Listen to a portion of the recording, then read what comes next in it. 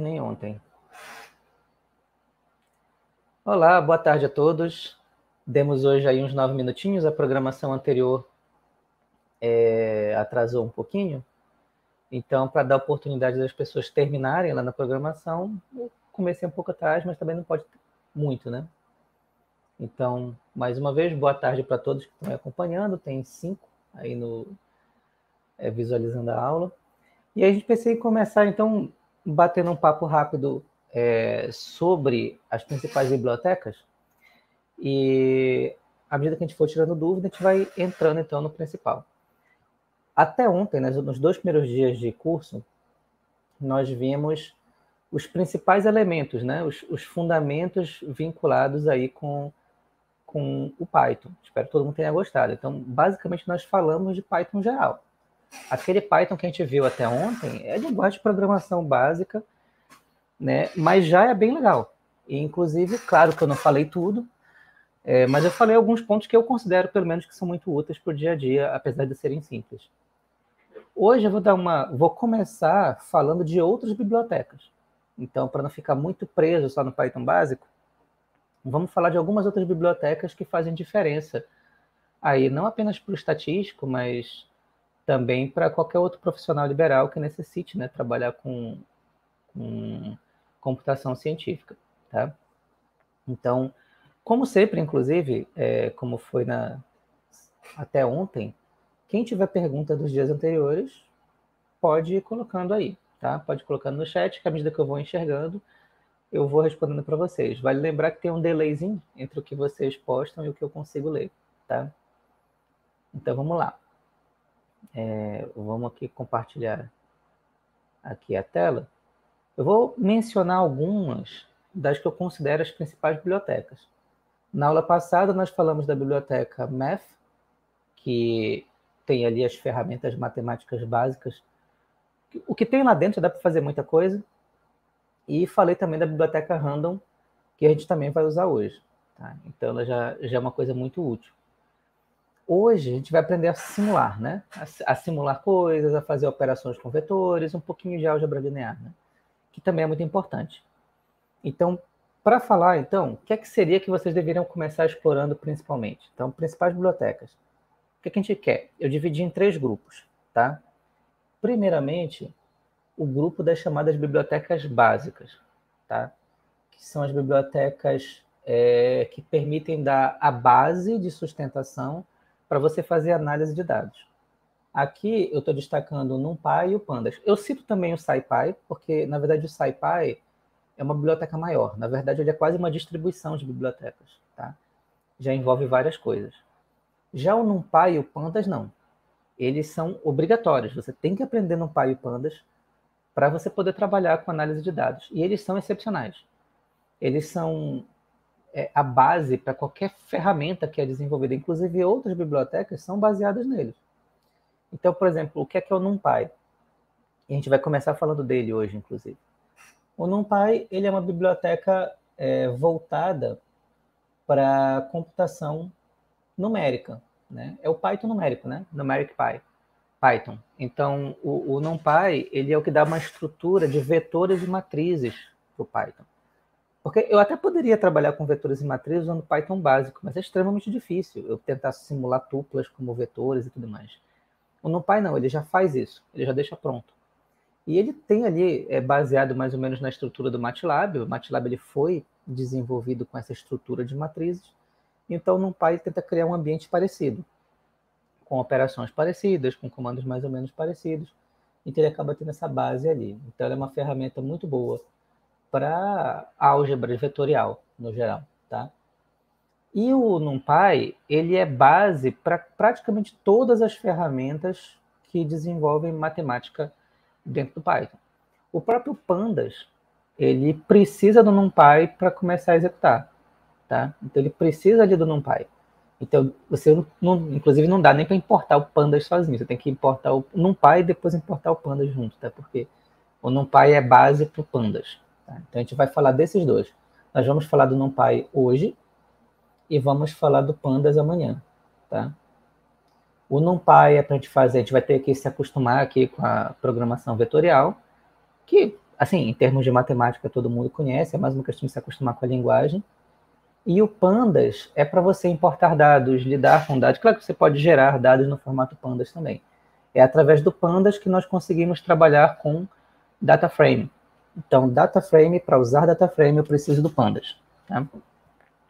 Muito bem, além desses daí, que são que eu chamo de básicos, nós temos as bibliotecas gráficas que cá entre nós são básicas também. Tem várias, tem, tem várias muito boas. Mas a básica, a básica mesmo, que é o que nós vamos ver hoje também, é o Matplotlib. O Matplotlib é sensacional. Ele é muito bacana.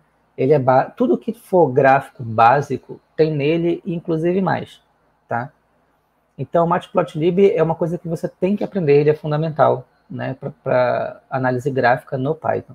Existem vários outros que têm mais ferramentas, né? O Plotly, o Bokeh é muito legal. Tem o VPython que permite você fazer gráficos animados, tipo você fazer animação 3D.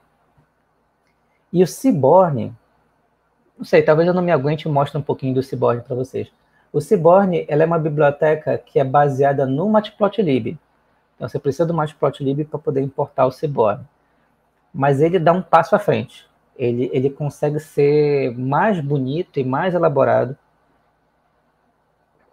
do que o Matplotlib. Mas é claro que eu vou dar ênfase no Matplotlib, é, porque como o Seaborn já é um adicional, então eu não assinalei ele como essencial, como básico. Tá? Além disso, nós temos as bibliotecas específicas de estatística.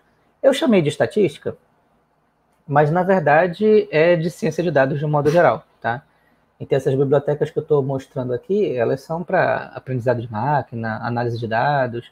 As duas principais, é, para quem está assistindo, provavelmente o público feito maioria por estatísticos, estudantes de estatística ou relacionados, é o Status Models. Aqui tem um conjunto grande de modelagem, não vamos vê-las. Nenhum dos dois tá, estaria incluso no, no Introdução ao Python, né, no curso de introdução. Teria que ser um curso mais avançado para falar dos dois Aí a gente vai ter que falar de aplicação direta, de séries temporais, de inferência, de modelagem em geral. Né? Então, os status models têm função para tudo. Tem o comando arima, por exemplo, que você, a partir dele, você pode gerar o modelo arima. E tem o scikit-learn, que ele é um... O nome já dá a entender, né? Que o scikit-learn ele tem um conjunto de ferramentas excelente para aprendizado de máquina e muitas mais coisas. Então, eu quero rodar redes neurais. Scikit-learn é a biblioteca que eu vou utilizar. Tem várias outras que eu menciono aqui, né? O PyMC, que é o para análise bayesiana, o PyStan é, também é muito bom. O Keras é bem legal, né? Usei uma vez. Mas, no geral, o scikit-learn ele já supre muito dessa necessidade. Então, essas que eu estou assinalando aqui são as principais. É, é, bom também tomar nota dos sites. À medida que eu for visitando lá os sites de cada um deles, eu vou colocando o link aí no chat, tá? É, aproveitando que já são quase 50 é, espectadores aí assistindo, é, não esqueçam de preencher a frequência quando ela surgir, tá? Fiquem atentos. Então, bacana, vamos começar a falar hoje do NumPy. Eu vou aproveitar para apresentar o NumPy e depois eu vou apresentar o Matplotlib, tá? Então, vamos fechar aqui. Opa, Estou mostrando por trás da magia aqui. Então a gente vai começar falando do NumPy. Então antes de falar do NumPy, lembra que eu falei para vocês. Sempre, sempre, um, um, um, programador que trabalha bem ali com computação científica, se tem uma coisa que ele tem que ter na vida, é sempre a documentação oficial daquela biblioteca que ele usa à mão. Tem que estar nos favoritos lá no, no browser, né? Sei lá, salva o link, porque programar não tem jeito, você vai ter que sempre procurar a sintaxe em algum lugar, então é sempre bom você ter. Então eu vou colocar aqui, esse aqui é o site do numpy.org. É claro que se eu digitar numpy no Google, vocês vão ver que tem um monte de comunidade com texto em português, sei lá, tutorial de NumPy, é tudo o que você precisa saber sobre o NumPy. Com certeza vai ter muita coisa em português, tá? Mas é bom ter a documentação oficial. Se você, deixa eu aumentar aqui um pouquinho a tela para vocês enxergarem melhor. Opa, que eu cliquei no lugar errado aqui. É, para vocês enxergarem melhor aqui um pouquinho. Esse aqui é o site do NumPy. Tá? E bem aqui tem uma opção escrita Documentation, que é ajuda, né? É o help do NumPy. Aliás, o R está com uma documentação nova, eu achei bem, bem melhor do que estava antes. Gostei também. Então, basicamente, aqui você tem o, o manual do NumPy, tá? Que aí você vai ter várias... Você pode procurar como fazer uma coisa é, simplesmente clicando aqui sobre instalação, sobre Quick Start, o que é que você tem que aprender para começar com no NumPy. Tem uma opção aqui que eu achei muito legal, que é o NumPy for MATLAB Users, que ele já sabe que tem gente que está migrando do MATLAB para o Python. Isso acontece porque vale lembrar que dessas linguagens de programação todas que eu citei, o MATLAB é a única paga. E ela é muito bem paga, porque ela é cara. O que ela tem de boa, para mim, a melhor para simulação de todas é o, é o MATLAB. Ela tem de cara também, que é a grande desvantagem dela, é cara demais. Ela tem um uma documentação fenomenal, você consegue programar só lendo nela, mas ela é cara. Né? Então, daí a vantagem de ferramentas como Python, como R, por exemplo, ou como Julia, ou como Octave, que são gratuitos. Né? Aqui tem uma dica que ele faz tudo como compatibilizar. Tem tutoriais no NumPy, aplicado no NumPy for MATLAB, que aí ele coloca as principais diferenças e tal. E como vocês vão usar na maioria das vezes, né? Que é, ah, tem um comando, como é que usa tal comando? Então, você clica aqui na busca, né? Array, por exemplo. Dá um Enter, aí vai aparecer na busca dele, olha, vários comandos. É esse aqui que me interessa, olha, o array, essa função Python do array. Aí eu clico nela, Aí aparece aqui a sintaxe, né? Olha, tem que ser o objeto primeiro, o tipo, se é uma cópia ou não, qual é a ordem do vetor. Aí ele vai explicando cada uma delas, vai dando os parâmetros, ele mostra algumas coisas, alguns comandos relacionados. Tem aqui alguns exemplos de como usar o, o código, tá? Então, recomendo sempre. Eu vou sempre fazer questão de mostrar a documentação. A minha experiência foi essa, certo? À medida que eu fui aprendendo a programar, eu fui ficando expert em manter a humildade. Ou seja, eu não sei decorar toda a sintaxe de todos os comandos, certo? Claro que alguma coisa básica a gente vai memorizando, mas não tudo, né? Então, vamos começar falando do NumPy hoje, tá? Então, ó, não percam de vista aqui o site do NumPy, tá? O NumPy tem muita coisa legal, então vamos começar vendo aqui algo básico do NumPy, tá? Primeiramente, para poder rodar usando o NumPy, a gente tem que fazer uma importação. Num código Python, eu posso importar uma biblioteca em qualquer momento do meu código. Em qualquer momento. Só que, assim, por uma questão de legibilidade do código, a gente costuma né, ter, por circunstância, colocar todas as importações no início do código. É uma questão de costume, tá? Eu vou mostrar aqui para vocês um exemplo é, sei lá, alguma coisa de séries temporais aqui. Vou pegar esse aqui, Box Jenkins. Ó, tudo, o código todo está para cá para baixo, mas eu peguei todas as importações que eu preciso no código inteiro, eu coloquei aqui em cima porque eu acho mais fácil de saber o que, é que eu estou usando. Mas isso não é obrigatório, viu? Só para vocês saberem, eu posso fazer, eu posso usar o comando de importação em qualquer parte do código, tá? É mais um costume de a gente colocar a importação no início. Mas eu já vi muito programador é, fazendo importação por bloco, por exemplo. Então, não, não precisa estar concentrado aqui, antes que vocês tenham essas dúvidas. Tá? Vamos começar fazendo aqui a importação do NumPy. Tá? Então, vamos lá. Import NumPy pai nem é tão grande assim, né? Mas a gente se pode diminuir, eu vou dar um apelido para o NumPy, vou chamar ele de NP. Tá? Então, vou dar um Shift Enter. Sempre ele demora um pouquinho mais para importar as bibliotecas, porque ele está importando muito comando, mas percebe que o NumPy é leve porque ele rodou rapidinho. Beleza. Então, como é que, por onde a gente começa? Bom, no caso do NumPy, Bora começar por álgebra linear, que eu acho que é, é, o caminho mais seguro de entender. Primeiro, vamos definir o que é um escalar, tá?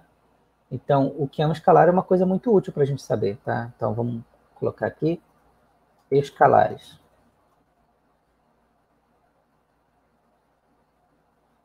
Eu tenho um aluno que nos trabalhos entregou, simplesmente fez o relatório todinho no Jupyter Notebook, escreveu como se fosse no Word, colocava já os gráficos, indicava os códigos, exportou em PDF e me entregou assim. E foi uma maravilha de ler, tá? Claro, não dá para escrever um TCC desse jeito, mas é, para um relatório foi muito bacana. Eu, inclusive, corrigi um assim hoje.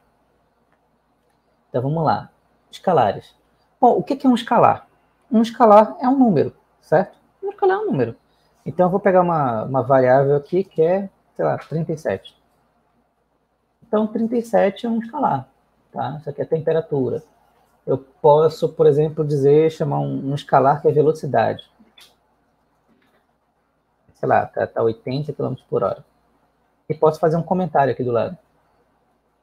É que eu digo, olha, velocidade em quilômetros por hora e aqui em cima,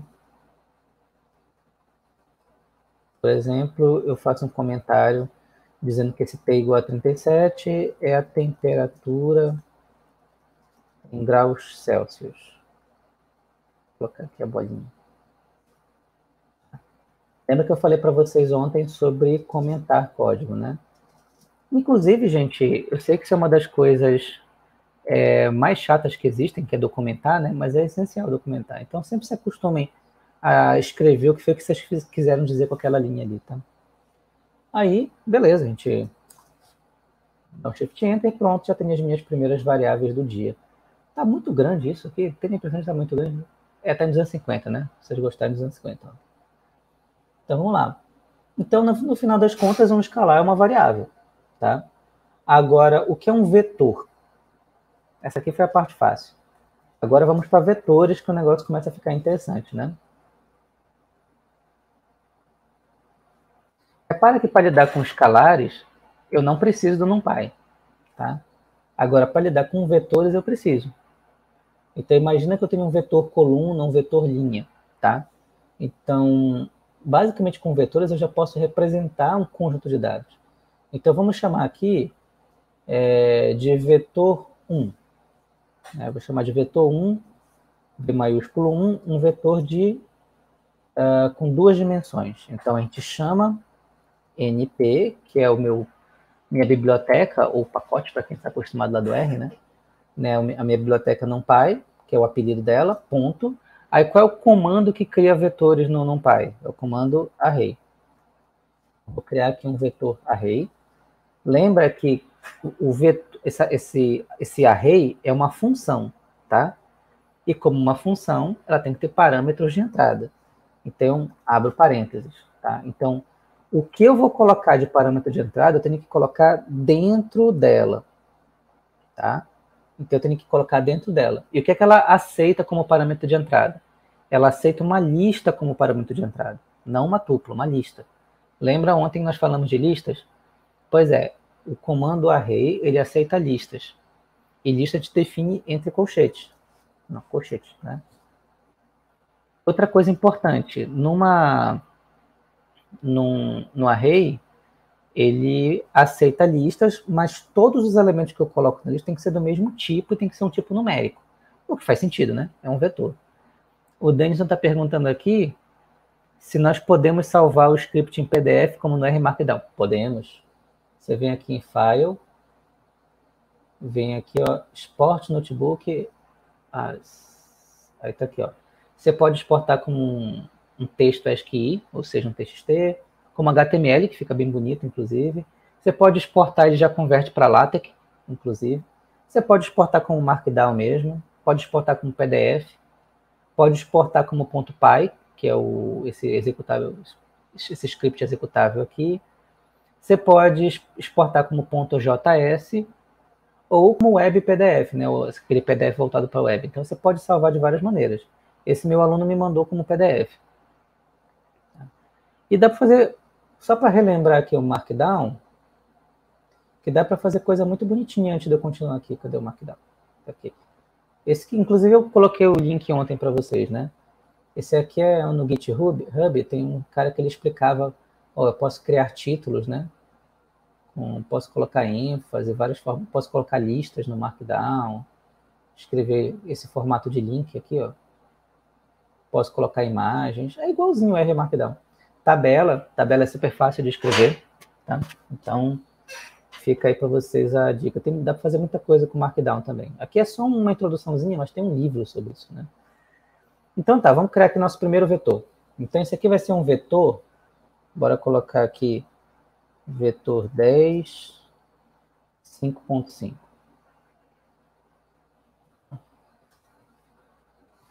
Então, V1, se eu der um Shift Enter aqui, ó, é um vetor com dois elementos.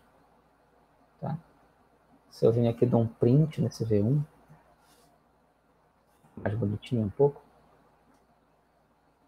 Aí tá aqui o meu vetor, vetor. Se eu não tivesse colocado 5.5, ele interpretaria os dois elementos como inteiros. Não teria mais o pontinho. Isso aqui, é claro, eu fiz um vetor de duas dimensões, né? Posso colocar quantas dimensões eu quiser aqui. 55, 100 e assim por diante. Pronto, assim eu fui criando meu vetor. Tem aqui o meu vetor linha. O que é interessante é que quando eu crio um vetor assim, ele é simplesmente um vetor. O, ele, eu, eu brinco que eu chamo isso aí de vetor adaptável. No Python tem essa, essa coisa, porque quando você define através da função array é, vetor, ele não é nem linha nem coluna. Ele meio que serve para qualquer coisa. Tá? Algumas vezes isso é muito bom e muito prático, algumas vezes não é tanto. Então, às vezes, para escapar disso, tem uma jogada que eu vou mostrar para fazer daqui a pouco, tá?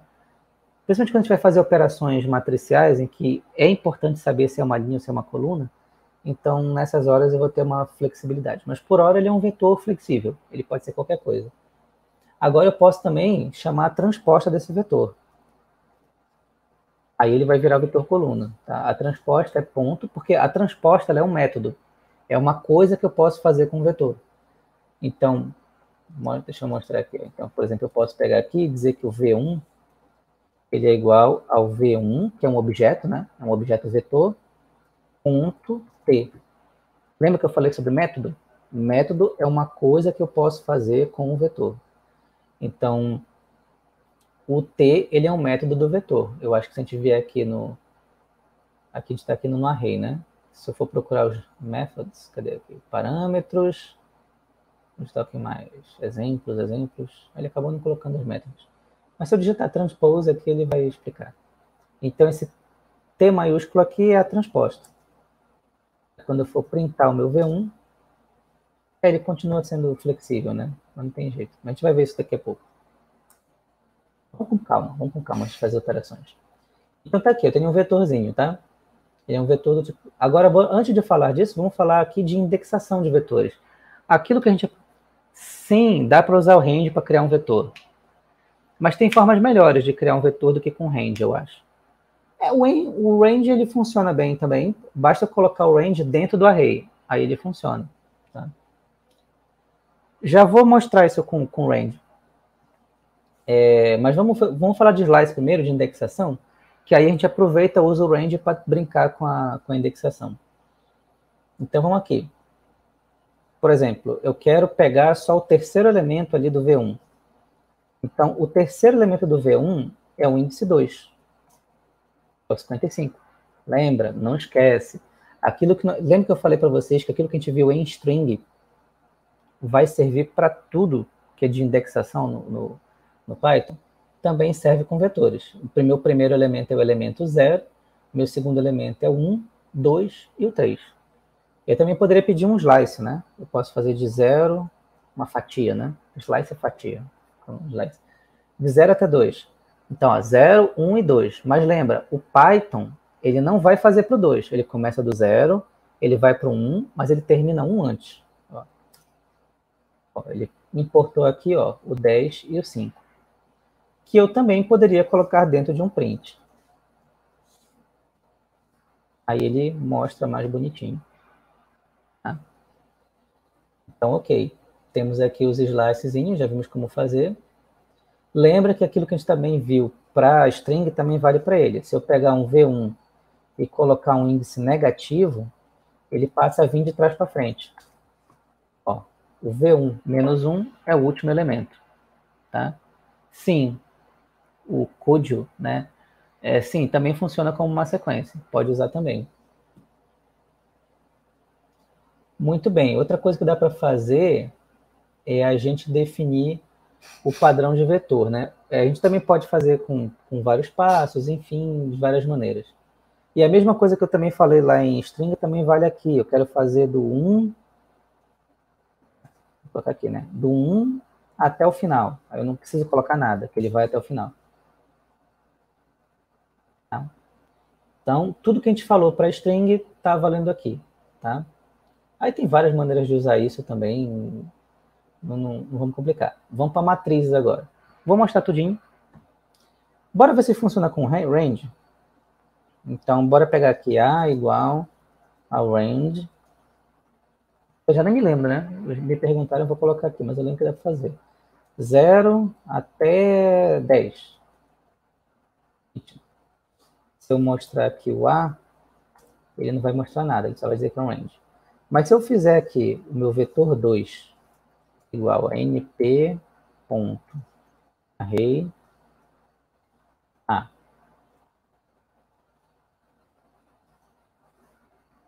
int p2 para ficar mais bonitinho. Aí ele gera. Então a forma básica, respondendo mais na prática o que o Paulo perguntou ali, é eu posso colocar o range dentro do array, que aí ele gera um vetor. O que cá entre nós é muito prático, né? Inclusive, se eu quiser, por exemplo, gerar um range, ah, eu quero fazer um. Só que o range ele tem uma limitação, gente. Por isso que, tem uma... por isso que eu falei que tem formas melhores de, de fazer sequências, porque o range ele gera uma sequência de números inteiros. Então, se eu quiser fazer de 0 a 20 de 2 em 2, funciona legal. Ó, ele faz. E criou um vetor com isso, certo? Agora, se eu quiser ir de 0.2 em 0.2, aí ele vai dar erro, porque o range ele só funciona com inteiros. Então, o range, ele, na verdade, ele é uma função que serve para gerar índices, né? Então, ela não é a função mais indicada. Mas o NumPy tem uma função para você gerar é, vetores assim, que é o, o aRange, tá? Que é isso aqui, ó. Então vamos pegar aqui um outro vetor A, np.aRange, que é uma adaptação do range para o NumPy, tá? ARange, então, mesma coisa, primeiro elemento 0, segundo elemento 20, não é obrigatório começar do zero, viu? Sim, sim, seria o sec do R. Tem ainda um outro, além do ARange, tem um outro, que é o linspace. Aqui, a gente no arrange, qual é a diferença dos dois, né? Desse para o lean space? É que no arrange eu coloco início, fim do passo. Então, por exemplo, eu quero ir de 0.1, ou melhor, ponto, né? Em 0.1. Tá? Eu vou dar um print aqui no A. Aí ele, isso aqui é um vetor, vê? Porque ele terminou naquela linha veio para outra linha. Deixa eu colocar 10, que fica mais fácil de enxergar. Não tanto, né? Deixa eu colocar de meio e meio, então, para ficar mais fácil. Agora, melhorou. Né? Então, vou colocar aqui no 8 para enxergar melhor. Pronto, foi de meio e meio. Aí, beleza. Então, o arrange, ele, ele faz a mesma coisa que o range, só que ele só que ele permite dar passos é, reais, né? Que uma coisa que o range não permite. O outro comando, o linspace que eu não, eu não uso muito, ele você define é, o início, o fim e quantos pontos você quer.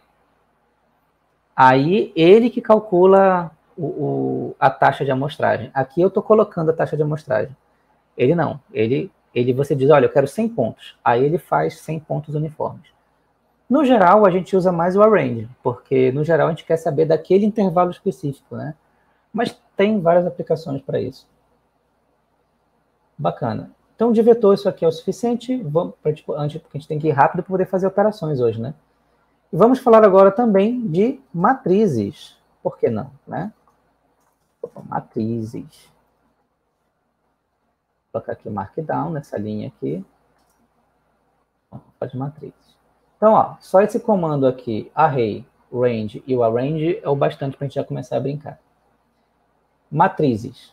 Aí o resto vocês vão vendo lá, tá? Para definir uma matriz, eu tenho duas maneiras de fazer. Tá? Eu tenho o comando array e tenho o comando matrix.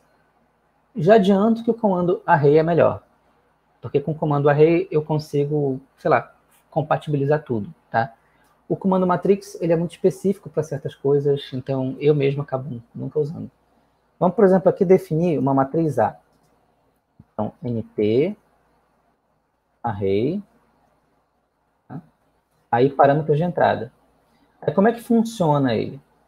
Então eu vou definir dentro dos parâmetros de entrada uma tupla, tá? Então mais um parênteses. E dentro dessa tupla eu vou colocar várias listas. Então quero fazer, por exemplo, a minha primeira linha. A minha primeira linha vai ser um, dois, três, porque eu sou muito criativo, certo?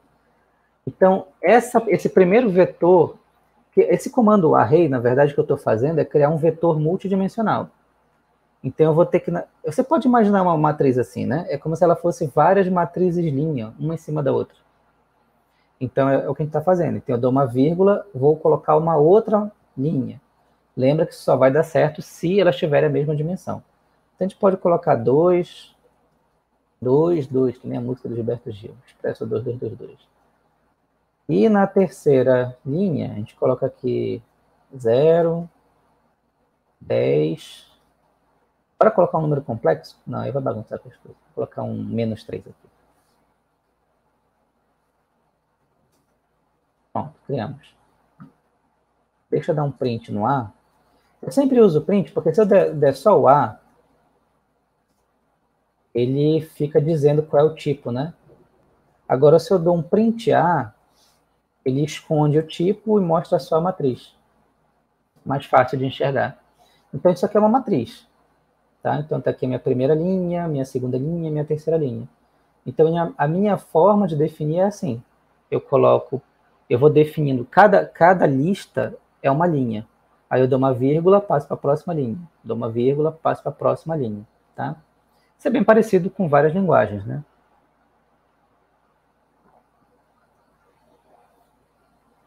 E aí, como é que eu faço para indexar, né? Para me referir a uma, a uma célula específica. Eu faço assim, ó. A maneira de se referir é, é sempre o primeiro índice a linha, o segundo índice a coluna. Então, eu quero pegar esse número bem, esse número 3 aqui. Então, ele está na minha primeira linha, na minha terceira coluna. Mas lembra, não esquece, o Python ele não começa do 1, ele começa do 0. Então, a primeira linha é 0 a primeira coluna é zero. Então, quando eu digo que ele está na primeira linha, ele está na, tá, tá na linha zero, na coluna 1, 2, 3, né? Esse elemento bem aqui, ó. Ele está na linha zero, na coluna 2, ó. 0, 1, 2, tá? Então, quero na linha zero, na coluna 2. Eu sempre dou um espaço, vocês já repararam, né? Mas não tem necessidade de espaço, tá? Eu só acho mais estético. Então, vamos colocar assim. Ó, aí ele retorna aqui o elemento 3. Tá? Então, essa é a forma de indexação. Agora, a indexação para matrizes, ela passa a ter duas dimensões. Quando eu queria pegar o índice de um vetor, ele tinha uma dimensão. Posso usar uma dimensão só? Então, por exemplo, eu posso colocar o A e colocar 5 bem aqui. Funciona. E agora eu tenho uma matriz, certo? Matriz tem duas dimensões. Então, isso aqui, ó, está fora dos limites. Se eu colocar aqui 1, um, ele, ele vai entender que ele pegou a primeira linha. Ou melhor, a segunda linha. Se eu coloco zero, ele vai pegar a primeira linha. Se eu coloco 5, como eu não tenho uma sexta coluna, ele vai dizer que está fora do limite. Se eu coloco zero e eu faço isso aqui, ó, ele também entendeu. Isso aqui, ó. Aliás, deixa eu reformular aqui, né? 2. Ó, então ele aceita tanto assim, ó, linha coluna, que aí eu me referencio aqui a linha 0, coluna 2, como eu posso colocar linha num colchete e coluna no outro colchete. Tá? Eu posso fazer referência ao mesmo índice dessas duas maneiras diferentes. Tá? Uma coisa que é bacana é que das duas maneiras eu também posso fatiar. Eu posso dizer, olha, da primeira linha eu quero a segunda e a terceira coluna. Então eu coloco do 1, um, dois pontos até o final. Aí ele pegou um, um pedacinho, ó, tá vendo? Eu quero pegar um quadrado ali. Então eu quero pegar o 1 até o final e do 1 até o final. Aí ele pegou uma matrizinha. Então eu posso repartir também. A mesma coisa eu posso fazer aqui. Eu posso pegar, por exemplo, eu poderia colocar, eu quero a primeira linha, todos os elementos. Ele me daria. Também funcionaria ali, tá? Ou, particularmente, se eu posso pegar, eu quero todas as linhas, segunda coluna. Ele me deu também. Tá? Então, bora fazer aqui para o 2. Aqui eu quero elemento 0 até o 1. Oh, por que só me deu um elemento? Porque do 0 até 1, lembra, ele começa do 0, mas ele vai até o penúltimo número. Eu dei dois índices para eles, o 0 e o 1. Então ele vai fazer só o 0, tá? Então, ó, isso aqui é muito importante saber, porque muitas vezes eu vou ter matrizes grandes, vou precisar identificar, às vezes eu precisar recortar uma matriz. E essa forma de se referenciar aqui também vai funcionar para data frame, tá? Então, gente, se vocês vão tendo dúvida, vão falando aí, tá? Que é se deixar, eu saio falando sem parar. Bora pegar agora, já, já entendeu a ideia de slice? Eu posso também pegar número negativo aqui? Assim não, né? Tá? Se é número negativo, ele pega a linha 2 de trás para frente, ou seja, ele vai pegar esse menos 3 aqui, tá? Mesma coisa, mesmo esquema, tá? Agora vamos lá, lembra que eu falei para vocês que quando definia array lá, aquele, aquele vetor, ele é meio que um vetor genérico? Então, eu posso pegar essa ideia aqui de matriz e usar para definir um vetor específico. Então, por exemplo, ó, vê bem, aqui eu quis definir uma matriz, né? Eu vou até copiar esse, esse elemento aqui, e aqui eu vou criar um vetor, tá? Lembra que vetor minúsculo é matriz maiúscula, né? Ó, bora estudar esse caso aqui. Cada linha é uma lista entre colchetes, tá? Então, eu quero representar um vetor que ele é um vetor linha. Como é que eu faço isso? Eu posso fazer da seguinte maneira. Ao invés de usar esse parênteses aqui, eu posso colocar um colchete aqui por fora. É como se essa lista tivesse acoplado numa lista. O negativo é aquilo que eu expliquei, o Paulo está perguntando aqui, em relação ao negativo na indexação, né? Deixa eu voltar aqui um pouquinho mais, porque eu, né, eu vou avançar e não vai fazer sentido. O negativo é o seguinte, lembra lá do... Bora pegar aqui o vetor. Acho que com o vetor a gente entende melhor. O nosso vetor aqui é 10, 5, 55, 10, certo? Isso aqui é a mesma ideia que a gente viu para string, tá? Se eu usar um índice positivo, eu estou lendo o meu vetor da esquerda para a direita. Se eu uso um índice negativo, eu estou lendo o meu vetor da direita para a esquerda. Tá? Eu estou lendo ao contrário. Então, no índice positivo, eu leio da esquerda para a direita. No índice negativo, eu leio da direita para a esquerda sem o zero. Então, por exemplo, o meu vetor V1 é 10, 5, 55 e 10. Portanto, o meu vetor no índice menos 1 é da direita para a esquerda. Então, pego aqui, ó, é o 10. Tá? É o 10. Só que essa mesma regra eu também posso fazer com matrizes. Foi o que eu mostrei aqui. Tá? Eu, a, eu, na linha, eu fui da esquerda para a direita, 0, 1, 2. E na coluna, eu vim da direita para a esquerda. Fui do menos 1. Então, eu posso apontar direções diferentes numa matriz. Aqui o Paulo fala que no R é o remove. Nossa, só que esse comando eu pensava que ele fazia outra coisa. Aqui não, o, o, o índice negativo ele só vai na direção oposta. Ele não remove especificamente, né? mas é bacana. Isso, na verdade, tem uma utilidade legal em certos momentos. Voltando aqui, olha. Quando eu faço aqui, quando eu defino com dois colchetes ao invés de só de um, Eis o que vai acontecer. Nada, né? Porque eu não coloquei lá para printar o, o A. Aliás, ao invés de printar o A, vou colocar só o A aqui. Eu defini um vetor aqui, mas vamos printar agora. Isso aqui é um vetor linha. Agora, bora pegar isso aqui. E agora eu quero fazer um vetor coluna. Como é que funciona o vetor coluna? Se cada colchete, se cada colchete é uma linha, então como é que eu faço? Eu faço, ó, eu simplesmente fecho colchete em cada elemento. Porque cada colchete está definindo uma linha. Agora o 1 está na primeira linha, o 2 está na segunda linha, o 3 está na terceira linha. Aí vamos fazer aqui, ó, o meu B. Ó, aí ele fez um vetor coluna. Para colocar um print para ficar mais bonito.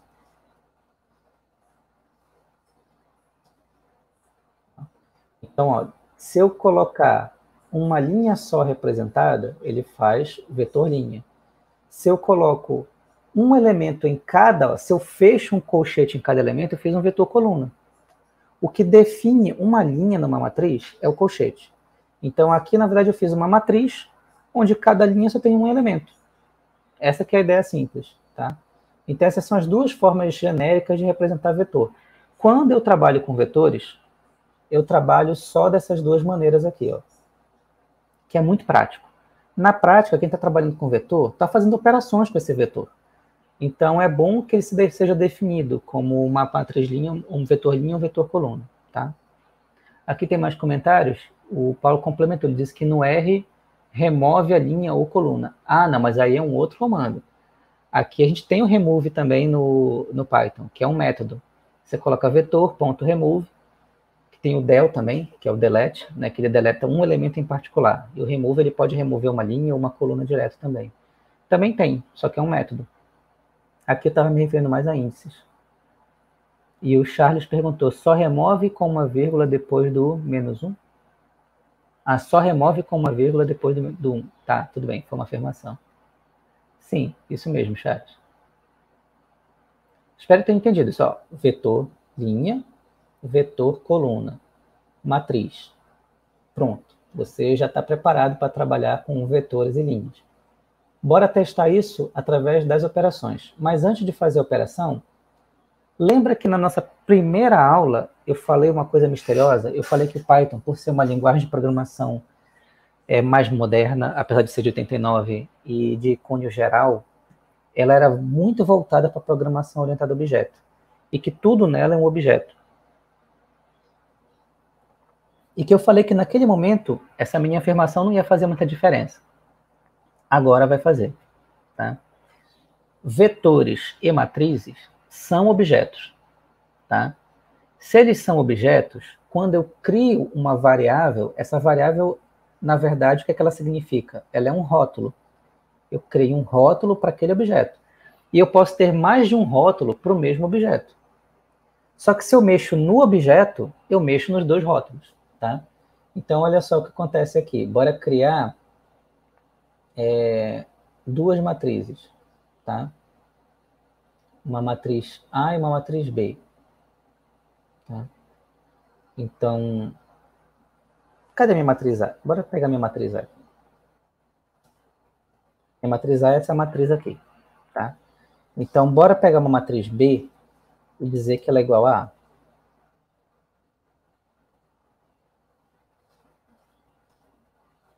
Pronto, eu tenho uma matriz A e uma matriz B. Mas lembra, na verdade, eu não tenho um espaço na memória chamado A e um espaço na memória chamado B, que nem no R, tá? Eu tenho, na verdade, um objeto array, que é uma matriz, é, e eu dei um rótulo a ele, atribuí a ele um rótulo chamado A. E eu agora atribuí um outro rótulo chamado B. Os dois apontam para a mesma matriz, tá? Então, olha só o que acontece. Se eu pegar o B. Eu quero pegar o B, é, esse do meio, esse 2 do meio, que está tá no tá 1, 1, né? Eu vou mudar esse valor para menos 49.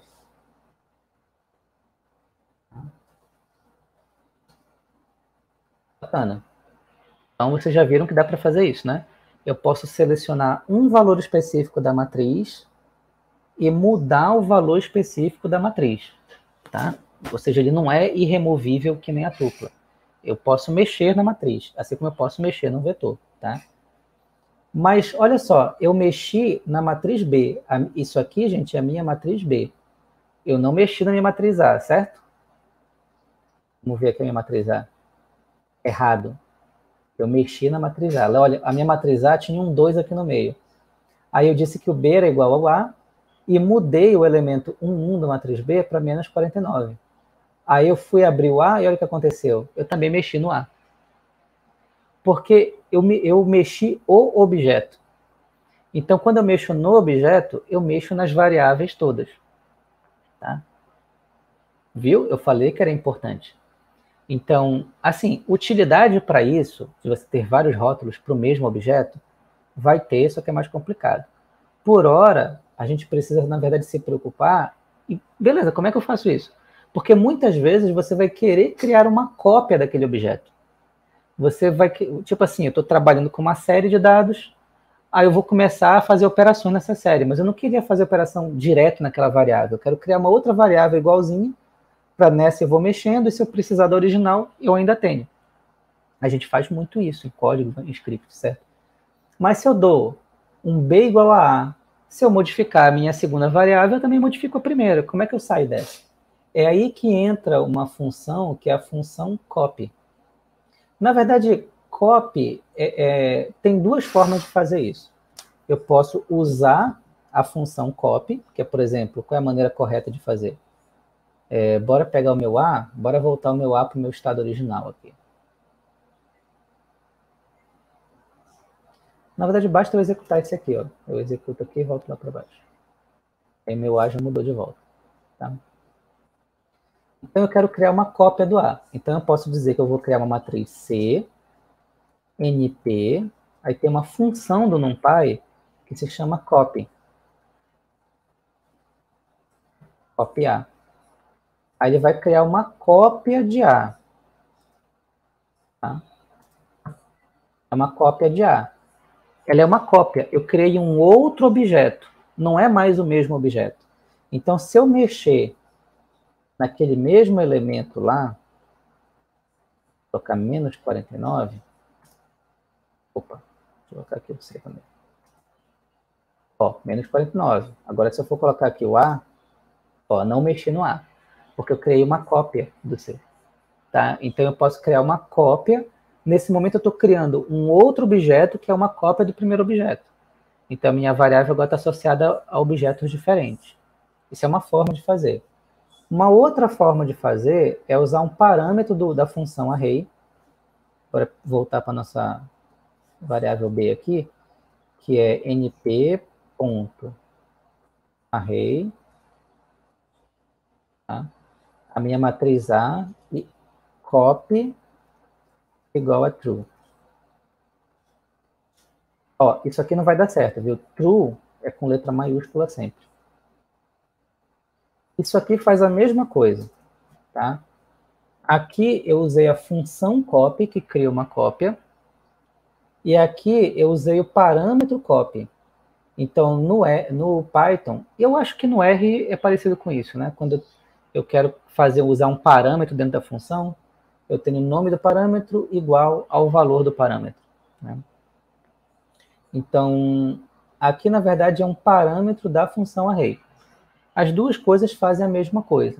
Tá? Aí vai da escolha. Eu acho a função copy mais legível. Se você escreve isso no código, fica muito evidente que você está criando uma cópia do vetor. Tá? Então, é, eu acho ele mais legível do que fazer isso aqui. Mas as duas coisas estão certas. Então, gente, preste atenção nisso. Tá? Senão vocês vão acabar fazendo bobagem às vezes. Então, beleza. Com isso aqui, pouco, né? Rapidinho. Você sabe lidar com vetores. É claro que o NumPy, ele não é só isso. O NumPy é muito mais do que isso. Então, o NumPy, ele me permite fazer milhares de coisas, tem várias funções importantes, é, tem função de transpor, tem operações entre matrizes. Então, bora ver um pouquinho dessas operações aqui mais para introduzir, para vocês pegarem um jeito de saber que existe, tá? Além disso, o NumPy também é, já tem algumas funções pré-definidas. Então, de novo, eu esqueci, gente, de colocar aqui no silencioso. Deixa eu colocar.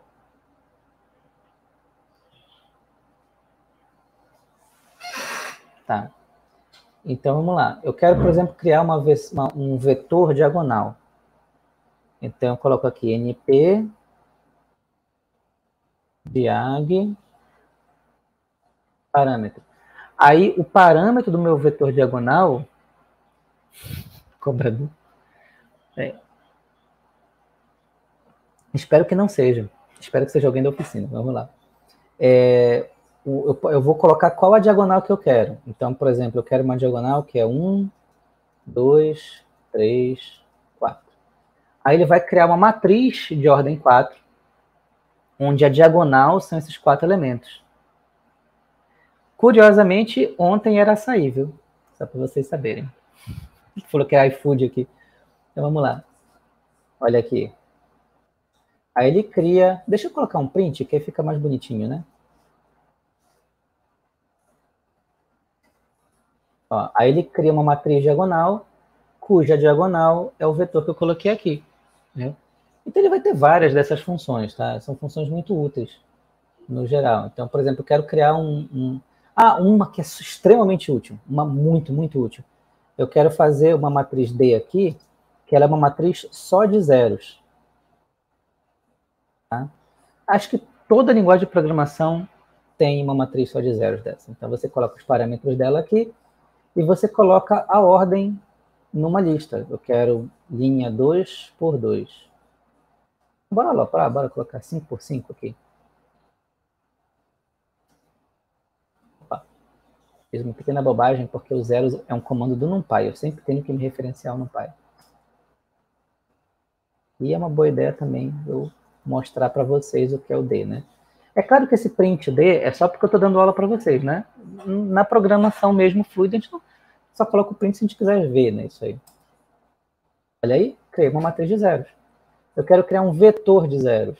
Eu quero um vetor é, coluna. Eu coloco aqui uma coluna, aí, coluna de zeros. Além dessa função, eu tenho também uma função que faz com uns. Eu posso criar um vetor de uns, é ones. Gente, eu uso muito esse negócio. Exatamente, o Paulo pegou justamente o que eu queria falar. A gente cria vetor de zero ou de um, né? Porque um é elemento neutro da adição, outro da multiplicação, justamente para eu já criar um vetor para poder armazenar coisas que eu vou colocar num for, por exemplo. Aí eu vou gerando armazenamento lá. Então é, é muito, muito prático para a simulação. Tá? Inclusive a gente vai fazer isso daqui a pouquinho também para simular.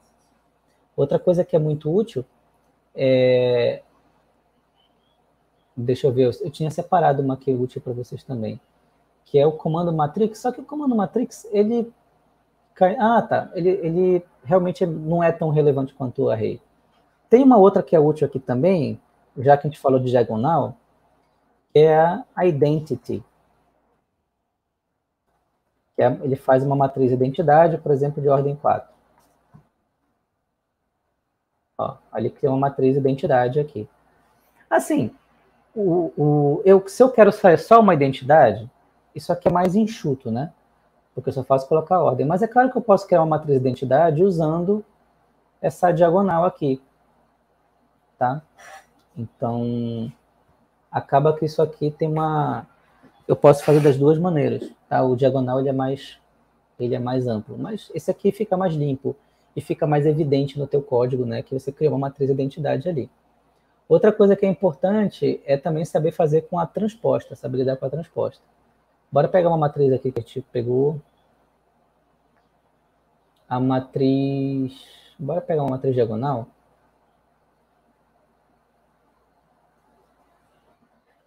Bora chamar de matriz F. Eu quero fazer a transposta dessa matriz, tá? Então, tá aqui a minha matriz F, criei, tá? E eu quero agora a matriz transposta de F. Eu vou chamar de FT, né? Igual a NP ponto transpose F.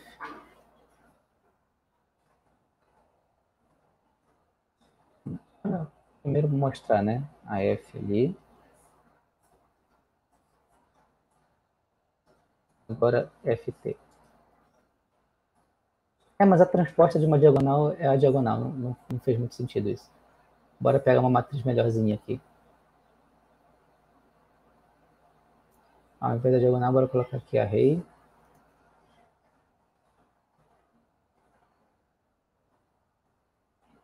Sempre esqueço isso. Coloca aqui, deixa eu ver, 2, 3. E aqui eu coloco 5 e 6. Tem alguma coisa aqui? Ah, tá faltando colchete aqui.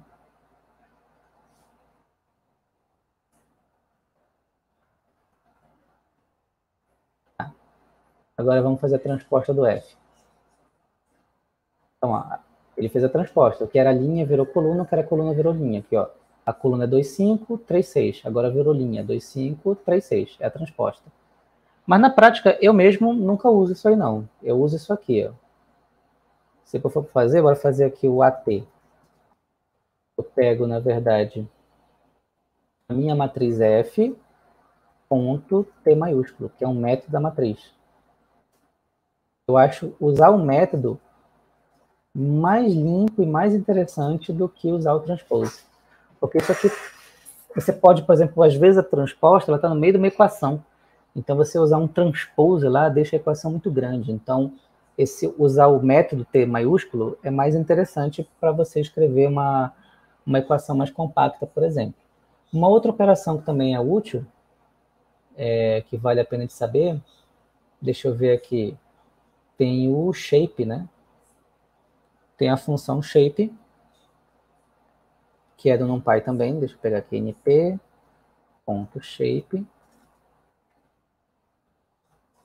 Ah. O que é que o shape me diz? Tá? Só que ele pegou a A, que é lá de cima, né? Deixa eu colocar a T bem aqui.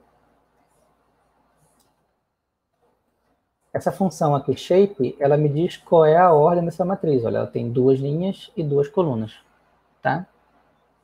Então, isso aqui é como se fosse o size do MATLAB. Tem vários comandos que são assim. Eu quero, eu quero pegar as dimensões dessa matriz. Então, a função shape é super útil também para a gente, tá?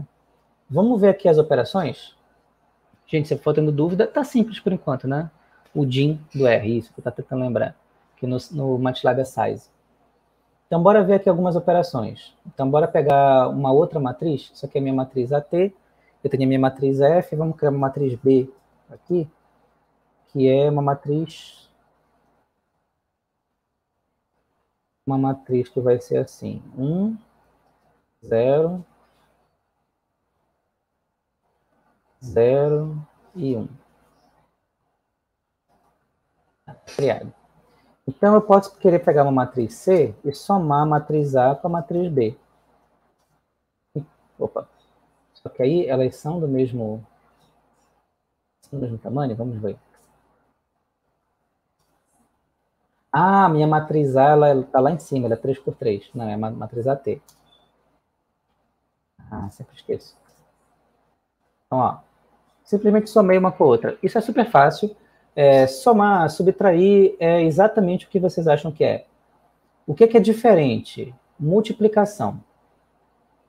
Aqui é que tem que ter o cuidado. Deixa eu pegar, deixa eu mostrar aqui em cima a matriz A. Vou pegar isso aqui e vou colocar aqui, tá? Eu vou colocar aqui a matriz AT, vou dar um print nela.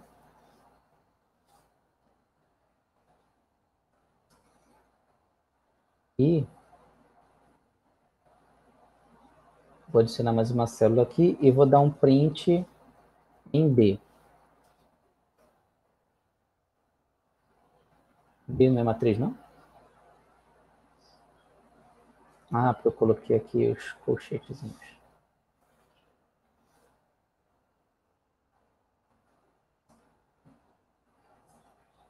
Gente, eu esqueci alguma coisa aqui. Ah, esqueci aqui. Tem mais um.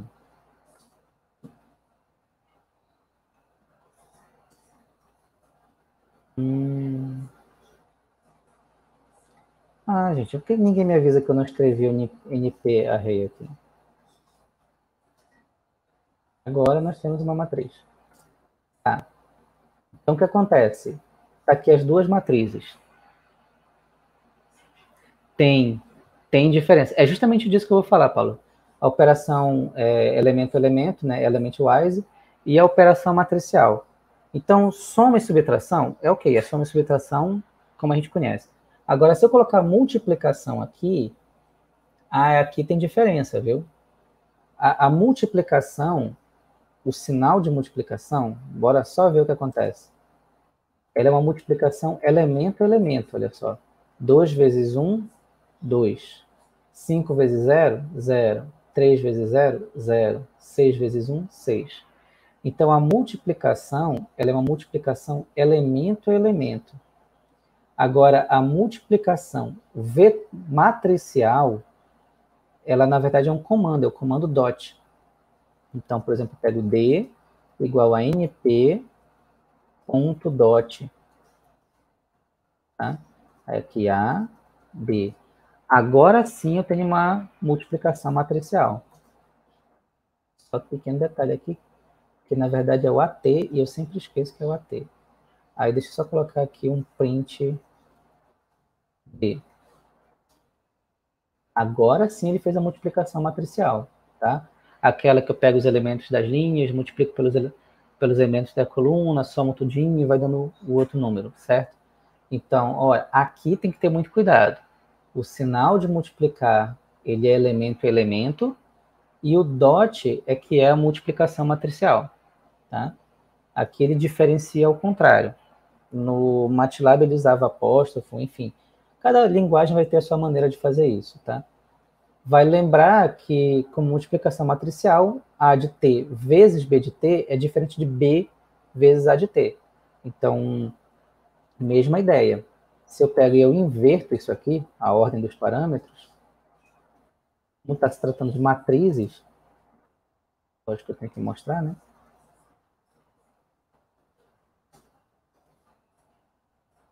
caso deu certo porque é uma matriz 2 por 2. Mas não é necessariamente a mesma coisa, tá? Então, muito cuidado com isso aí. Outra coisa também é a divisão. Se eu coloco divisão no lugar da, da multiplicação, ele faz, tá? Só que ele vai ter problema aqui que eu dividi por zero, né? Esses elementos. Mas ele divide elemento por elemento também. Igual a produto Radamar. Pois é. Aqui é o contrário. Então, esse barra aqui de divisão, ele divide elemento elemento. Esse erro que aconteceu foi porque eu estou dividindo por zero, né? Peguei 5 e dividi por zero. Então, se eu fizer o contrário, se eu fizer B e dividir por A de T, porque não tem zero no A de T, ele divide, ó. Então, isso aqui é divisão por divisão, tá? Não, você não tem divisão matricial, você vai ter que fazer a matriz inversa. Então, a matriz inversa, ela está dentro de uma biblioteca específica do NumPy é, que é a biblioteca de álgebra linear. Então, pode importar, inclusive, importe numpy ponto lin alguém, eu acho. Aí, não, é, na verdade é from. Dessa biblioteca from, né, import inv. O bacana de você fazer uma importação assim é que quando você importa uma função específica de dentro de uma biblioteca, você não precisa citar a biblioteca. Eu posso fazer a matriz inversa direto. Por exemplo, eu posso pegar a matriz G e dizer que ela é o inverso da matriz AT. Claro que eu tenho que mostrar para você essa matriz. Né? Ele calculou a inversa.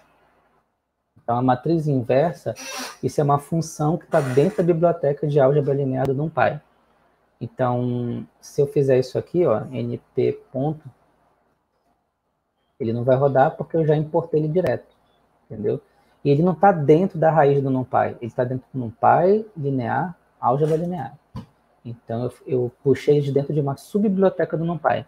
Então, o NumPy tem a biblioteca básica dele, ele tem várias subbibliotecas que serve para álgebra linear, serve para regressão. Então, eles têm várias lá dentro. Você descobre isso dentro da documentação dele, tá? é questão de prática de programação. Você vai aprendendo lá o, as funções que você mais precisa. Bom, com isso, gente, a gente já consegue fazer muita coisa legal, tá? Então, já fizemos aqui a inversa, aí tem comando para resolver sistemas lineares, tem comando, tem o lean space. Ah, eu, eu falei do lean space e não mostrei o lean space, né? Deixa eu mostrar um lean space aqui para vocês. Bora pegar um índice i aqui. Eu coloco np ponto space. Aí eu defino de onde eu quero começar. Eu quero começar do 1, por exemplo. Eu quero ir até o 10 e eu quero 20 pontos. O i. Aí ele dividiu, olha, gerou 20 pontos. E ele fez a divisão dele. É diferente do arrange que eu falei lá no início, né? No arrange, eu coloco o passo. Eu quero que vai de 1 até 10, de 0.1 em 0.1. Então, eu estou dizendo qual é a amostragem. Aqui não. Aqui eu digo o número de pontos que eu quero e ele define a amostragem. Tá? Só para relembrar vocês, olha, tem esse outro aqui, que é o, vou chamar de U, que é o np.arrange. Eu quero ir do 1 até o 10, mas eu não defino o número de pontos que eu quero, eu defino o intervalo. É que eu tenho que mostrar o U, né? Tem diferença. Então, aqui eu defini a taxa de amostragem e aqui eu defini o número de pontos. Tá? Pronto, já temos o que a gente precisa. Vamos, então, agora a algumas práticas. Tá? Pergunta, gente? Para mostrar prática é, do NumPy, aí eu vou ter que mostrar o Matplotlib. E aí a coisa vai começar a ficar bonita, tá? Então vamos lá, vamos mostrar o Matplotlib.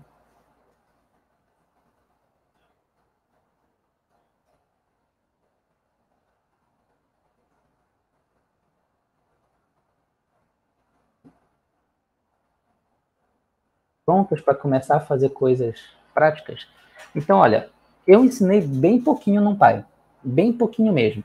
Mas com isso que a gente já sabe, já dá para fazer muita coisa. Olha, eu já sei definir vetor, já sei definir matriz, já sei gerar sequências de números, né, com arrange, com linspace, já sei fazer algumas operações básicas, como transposta, multiplicar matriz, somar matriz, né? Já aprendi o ponto o mat lá, que já me permite usar algumas funções matemáticas. Então, ok, já temos ferramenta bastante para simular. Então, o que, é que eu digo para os meus alunos lá de matemática básica, calouros? Não sei se tem algum calor aí. Se tiver algum calor aí, levanta a mão, tá? É, o que é que eu digo para eles? Gente, a gente tem que aprender a simular as coisas, certo? Então, a gente já importou aqui o NumPy. Agora eu vou importar matplot lib. Especificamente, eu vou importar da biblioteca pyplot, que, a gente, que é o que a gente efetivamente mais usa. E eu vou apelidar isso de PLT. Tá? A gente já importou no Py lá atrás. Esqueci alguma coisa. Mate... Ah, esqueci o T aqui, né? Matplotlib.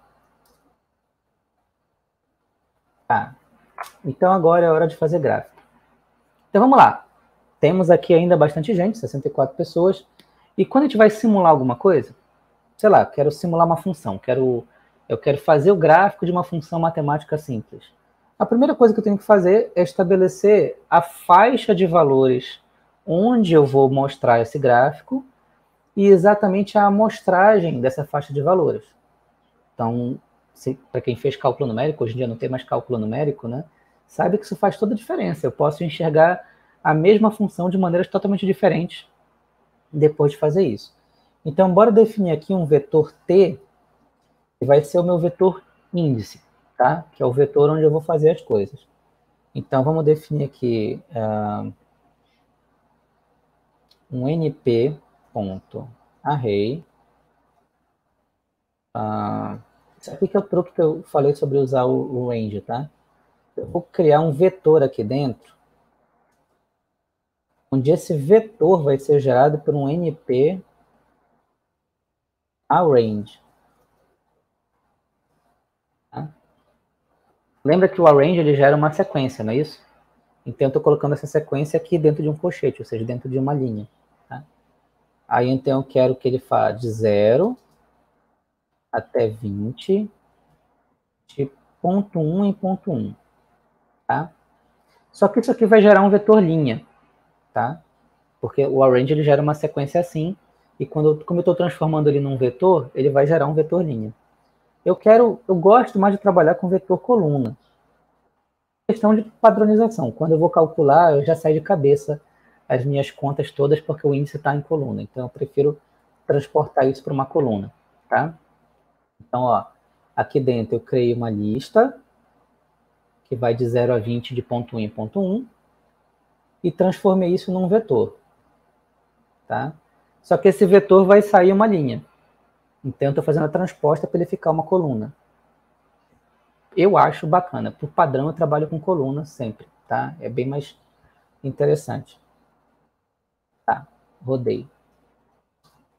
Tem isso aqui, ó. Bora pegar aqui.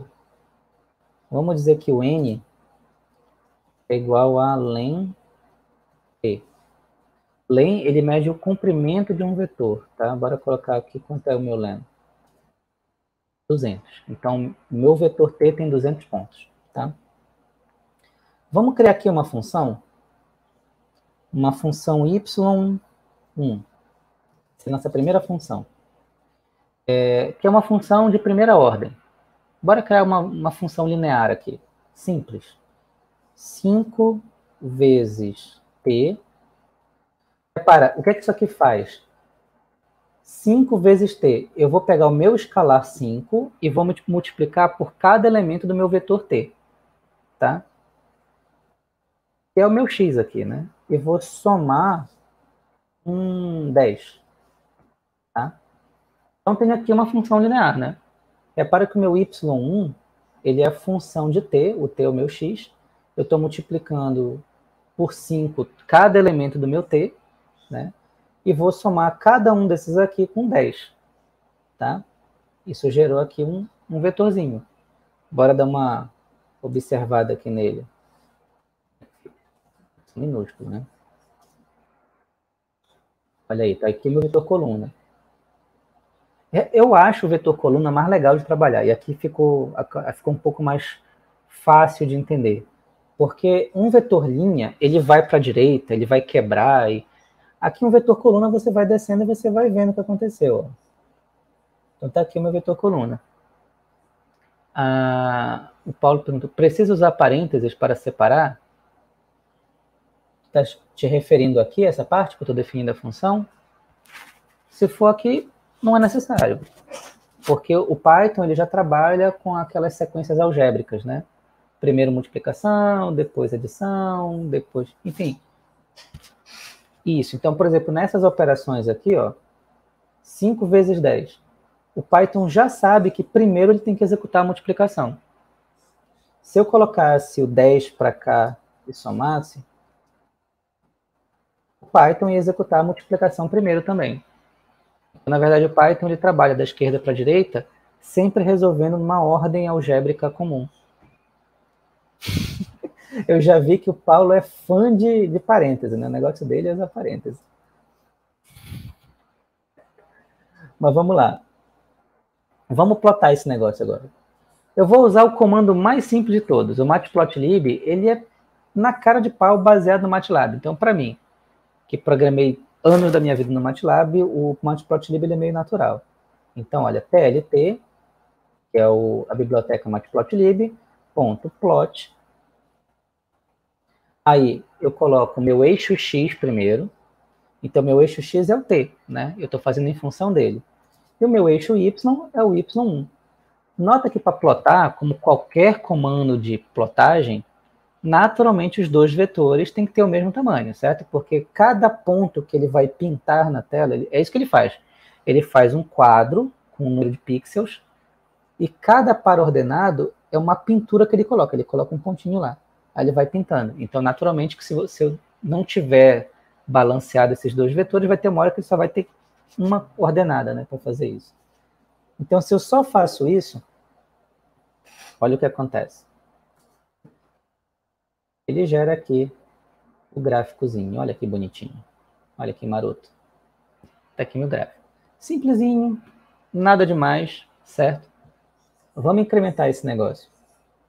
Beleza. Então, vocês já conheceram aqui o comando básico do plot. E a gente está combinando aqui o NumPy com o Matplotlib para gerar um gráficozinho, tá? E o comando plot é o mais básico de todos. Agora, vamos começar a mexer nesse gráfico, tá? Para mexer no, nesse gráfico, vamos começar fazendo o seguinte. Eu vou começar aqui fazendo... É, tem um comando no, no PLT, que é um comando que existe parecido no MATLAB, que é o comando figure. O que, é que o figure faz? O figure, repara que quando eu gerei, ele gerou aqui o, o nome técnico do meu gráfico, tá? Deixa eu dar um, diminuir um pouco o zoom, que vocês verem que ele vai ficando mais bonitinho meu gráfico aqui, tá muito estourado aqui, né? Esse figure, ele cria primeiro uma, um quadro, tá? E eu posso configurar esse quadro eu posso usar vários comandos para ir configurando o quadro, ou eu posso configurar o quadro todinho dentro dos parâmetros do Figure. No geral, eu prefiro usar vários comandos porque eu acho mais fácil de manusear e mais fácil de ler o código. Eu não sou muito fã de, um, de um, uma função que você, para configurar tudo nela, você tem que fazer tudo dentro dos parâmetros de entrada. O Paulinho fala que dá coisa nele com esse negócio da falta de parênteses, uma coisa que me dá coisa é o plot lá do R, né? Que você tem que, para configurar, você tem que colocar tudo dentro do parênteses dele, aquele comando enorme, com várias linhas. Mas aí é cada um com a sua neurose, né? Então aqui eu prefiro fazer um comando para cada coisa. Vou mostrar o que eu quero dizer. Então vou fazer um figure, onde eu posso definir o tamanho da figura. Então coloco aqui fig size, se eu não me engano é fig size. Acho que é fig size, né? Eu usei isso aqui um zilhão de vezes fig size igual. Eu vou colocar aqui na proporção 16 por 9. Isso aqui é proporção, viu, gente? Ah, gostou de parênteses, né? então, vamos lá. Então, proporção 16 por 9. Para quem não sabe, 16 por 9 é a proporção da maioria dos monitores hoje em dia. Tá?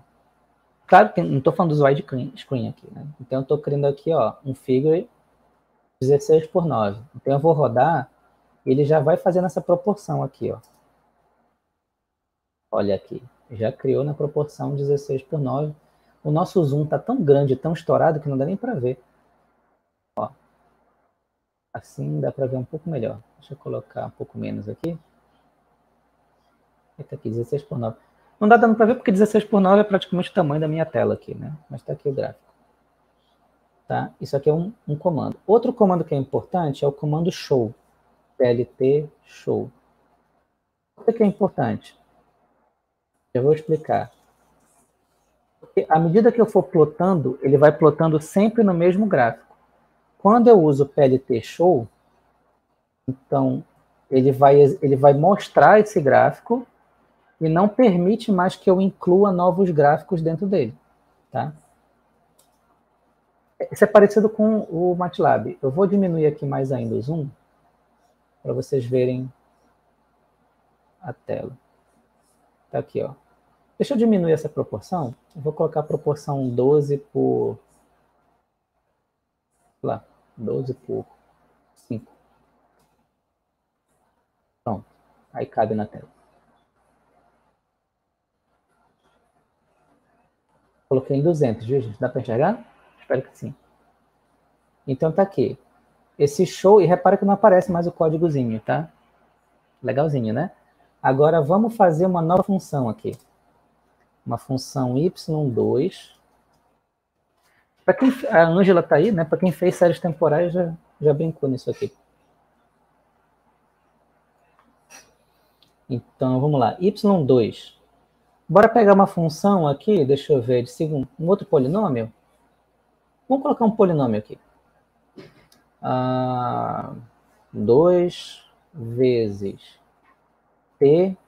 Agora eu vou dar arrepios agora no Paulinho. Vamos lá.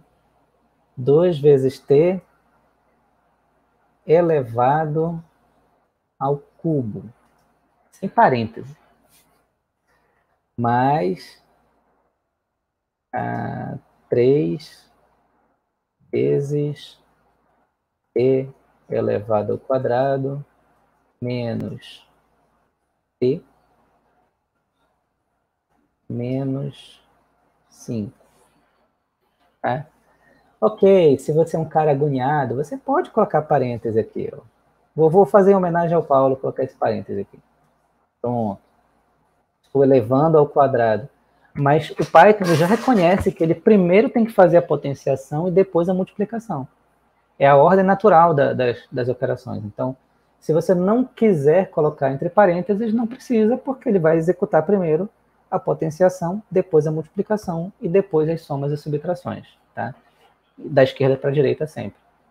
Mas eu vou colocar em homenagem ao Paulinho, porque eu gosto dele, eu não quero que ele tenha nenhuma crise aí. Aí, isso aí.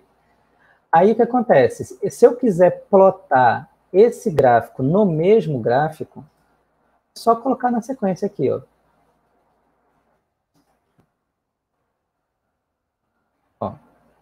Pronto, está aqui o meu primeiro gráfico, aqui em azul, meu segundo gráfico aqui em laranja. Tá vou até dar uma incrementada aqui no meu, nesse gráfico, e vou multiplicar por, ser mais arrojado aqui, vou multiplicar por 15, para os gráficos tentarem se cruzar um pouquinho. É, não se cruza muito não, bora colocar aqui em 1000. Agora tem alguma relevância isso aqui, embora eu colocar aqui 50. Nossa, preciso de uma, de uma. Colocar aqui 150. Agora sim, pronto. Aqui meu gráfico. Viu? Então, se eu quiser botar dois gráficos no mesmo gráfico, duas, dois vetores nisso é a mesma coisa. Boa, Angela. Então, beleza. Entenderam isso aqui, né? Podemos fazer melhor que isso, não podemos? Podemos colocar ainda uma terceira. Eu vou colocar aqui uh, y3 é igual a, sei, uma função seno, por exemplo, uma função seno. Vamos colocar uma função que dê para enxergar bem. Colocar 120 vezes np ponto seno uh, seno de quê? A gente está com 20 aqui, né? Então, 2 vezes np.pi, 2pi, vezes a frequência. A gente vai colocar a frequência, um verso lá. Então, se eu colocar aqui 0.5, me dá a minha, a minha frequência, vezes t. Mais lá, 5 mil. E aí eu pego aqui e ploto mais um gráfico.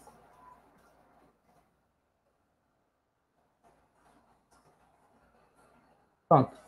Tenho três gráficos aqui na mesma tela. Legenda? Sem dúvida, vamos para... Pediram legenda? Vamos colocar legenda. Tem várias maneiras de colocar legenda, tá? É, você pode criar um vetor e chamar legenda. A gente pode fazer assim, a gente pode criar legenda para cada plot. Essa é uma maneira de fazer. Então, eu coloco label igual, aí aqui eu coloco função de primeiro grau. Tá? Isso aqui vai ser o label do meu primeiro gráfico. Aí aqui vai ser uma função de terceiro grau, né? E aqui é uma função seno. Função seno. Aí o que, é que eu faço? Eu vou chamar a legenda. plt.legend. Repara, se eu não colocar esse comando de legenda, ele vai rodar, mas não vai mostrar a legenda. É que ele roda. Aqui, ó. Tô agoniado que tá com um zoom tão estourado, tá em 200%, aí fica numa resolução ruim, né? Dá para fazer um monte de coisa. Eu posso, por exemplo, mudar a fonte da legenda. Eu posso aqui no Legend mudar a fonte. Eu posso mudar o tamanho da legenda. Eu posso mudar a cor da legenda. Eu posso, por exemplo, é, colocar o meu, a minha função de terceiro grau. Eu quero que ela fique com bolinhas no lugar dos pontos. De bolinhas, né? São muitos pontos, então deixa eu diminuir o número de pontos aqui. Bora de um em um aqui.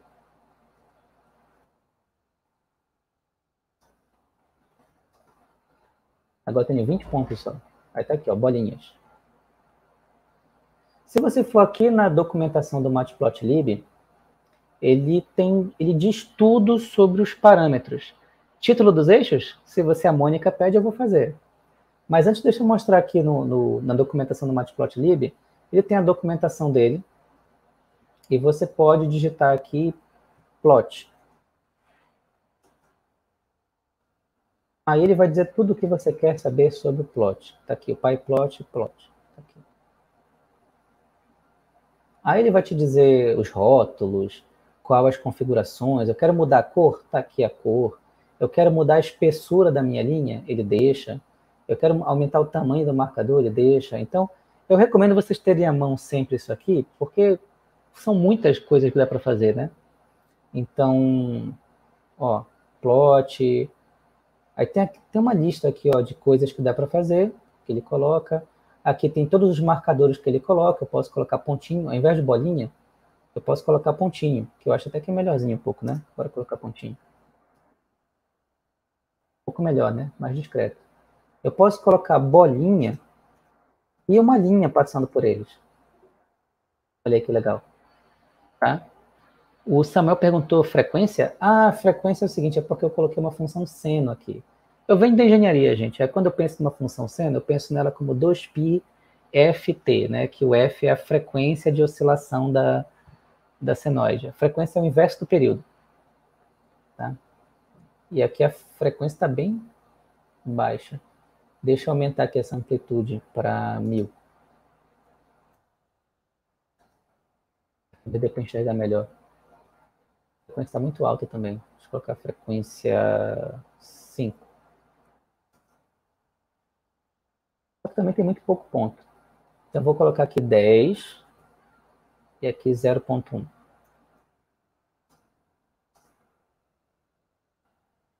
Aí tá ali. Aí uma coisa que dá para fazer também, além dessas brincadeiras todas, aqui no Matplotlib, na biblioteca, tem uma opção que é exemplos. Aí aqui, gente, é a felicidade da galera. Ele tem vários exemplos, né, das coisas aqui, ó, fractal, é, demonstração, gráfico de barra, com eixo. Aí eu quero fazer uma dessa aqui. Aí eu só clico no exemplo, aí ele me mostra o código de como fazer esse exemplo. Ultrapassa, né, gente? Olha que legal. Então, eu posso pegar qualquer exemplo que ele já tenha colocado, e tem exemplo para praticamente tudo. Eu quero pegar essa barra aqui. Aí ele vai ter um exemplo mostrando como fazer essa barra aqui. Tá? Ah, lista de presença, coloca aí.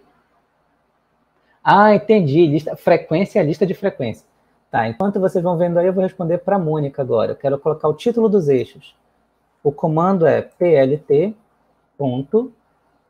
xlabel, isso aqui é o título do eixo X, tá? Aí eu coloco aqui ordenadas. E aparece aqui, ó, ordenadas. Tá? Eu quero colocar o eixo Y. É, como você pode imaginar, é Y label. Aí eu colo... Na verdade é o contrário, né? Aqui é abscissas. Abscissas.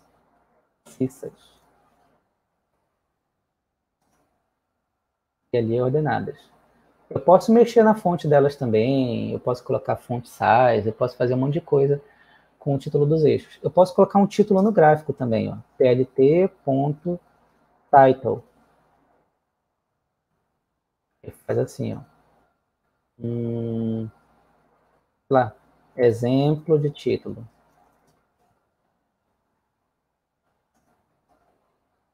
Aparece um título aqui em cima.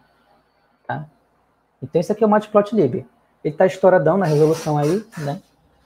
Como é que eu posso para, como é que eu faço para salvar essa figura? Eu quero exportar essa figura para algum lugar.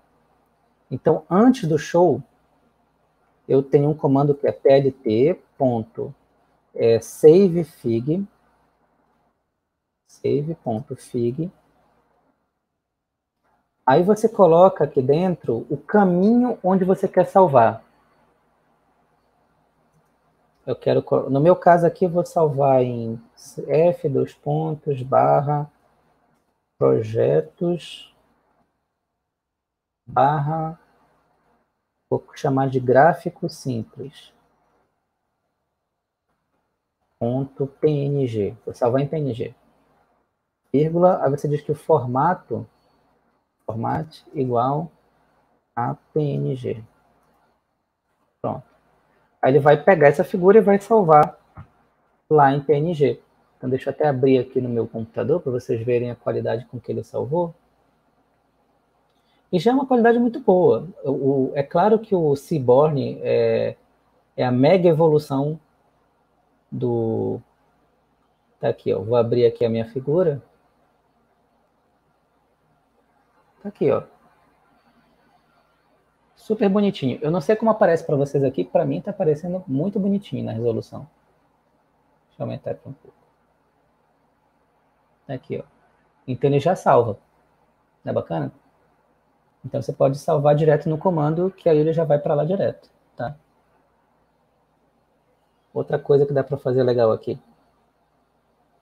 Ah, sim, jamais poderia deixar de fazer isso. Eu poderia criar Subplots. Como é que a gente cria um subplot? Aqui é o seguinte. Ah, eu posso criar um PLT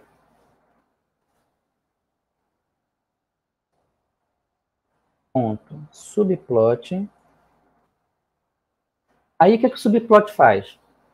Um gráfico desse é uma janela tá? uma janela retangular. Então, eu posso dividir essa janela em vários pedaços. Então, vamos dividir essa janela em uma coluna e três linhas, tá? Então, ó, vai ser três linhas, uma coluna. E agora eu vou trabalhar com a primeira célula, tá? Nessa primeira célula, eu vou plotar o meu primeiro gráfico.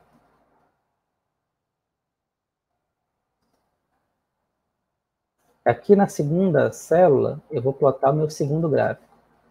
E na terceira célula, eu vou plotar o meu terceiro gráfico. Todos eles vão herdar esses eixos aqui, tá? Olha aqui. Ficou meio feio, né? Ficou apertadinho demais. Eu poderia aumentar essa figura aqui um pouco. Se eu colocar 9 por 5, acho que fica mais interessante. Melhorou, melhorou. Ele deu uma estreitadazinha, né? Oh, colocar um título aqui não foi muito bacana, não. Eu vou colocar. Ah, repara que eu posso definir é, título e legenda para cada um deles. Vou tirar esse título daqui, ou vou só comentar aqui, né? Aí observa que ele colocou é, eixo X e eixo Y só para esse último. Eu poderia criar para cada subplot. Tá? Ah, a Ângela está dando uma dica aqui, que se você for no Júpiter e estiver fazendo rodando direto da internet, você não precisa indicar o caminho aqui, né? Você coloca só o barra e o nome, ou só o nome do arquivo, que ele já salva no, na parte da nuvem que você tiver. Se você estiver trabalhando na nuvem. Se você estiver trabalhando instalado no computador, é melhor você usar o caminho, tá? Então já vimos o subplot, é, já vimos várias coisas aqui. Acho que em termos de subplot label, tá bom. Falta uma última coisa da gente ver a brincadeira. Tá? Isso aqui tudo, gente, foi a gente brincando com funções simples. Mas por que não fazer um processo estocástico? Certo? Vamos lá, vamos pegar aqui uma variável aleatória normal, gaussiana. Vamos chamar aqui uma variável nt. Tá? Essa variável nt eu vou usar para gerar a minha a minha função de tipo assim, vamos lá. Vamos pegar um azinho. Eu mostrei isso para vocês ontem, né? Primeiro eu vou importar aqui a minha biblioteca random. Pronto, importei a random, tá? Então, a gente lembra que na biblioteca random, eu posso pegar uma variável aleatória x e dizer que eu quero np.gauss, uma variável aleatória com média zero e desvio padrão 1. Errei aqui.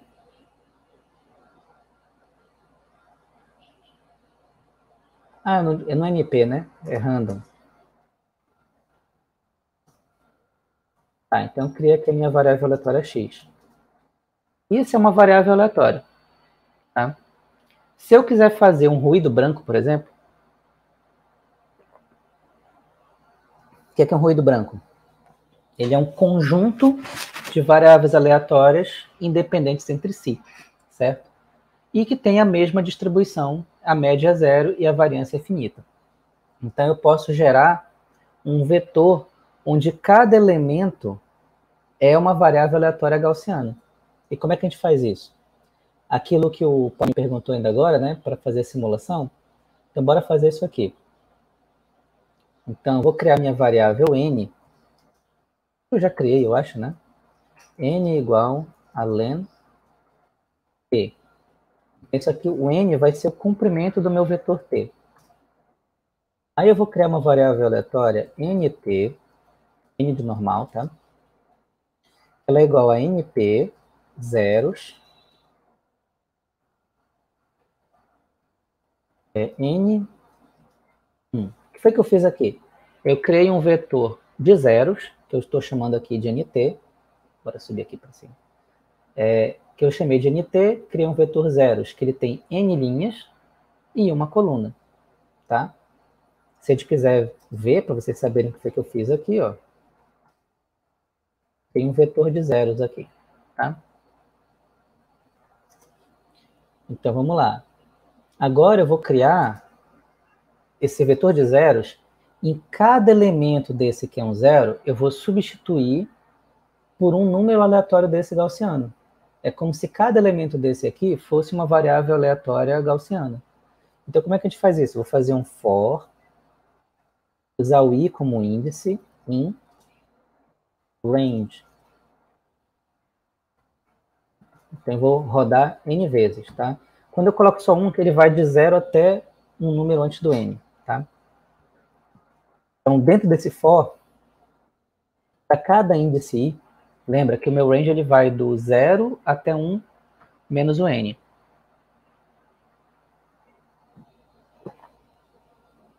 Então, vamos lá.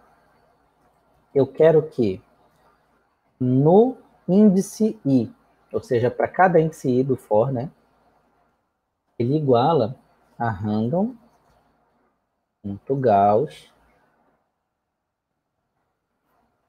0, 1. Tá? Pronto. Se ele fizer isso aí, bora fechar aqui o nosso for, vou pedir para ele mostrar aqui o NT. Ah, vou dar um print, na verdade. Então, for vai fazer o seguinte. O range ele vai de 0 até o n, que eu acho que é 200, né? Sim. Se o Python faz diferença, sim, faz. Ele é case sensitive, o Python faz diferença, tem maiúsculo e minúsculo. Então, se eu colocasse uma variável aqui que fosse nt, é uma variável diferente, viu? Então, vamos lá. Aí, para cada rodada do for, ele preencheu uma índice do meu, do meu vetor com um número aleatório gerado pelo Gauss. Está faltando um S bem aqui, né?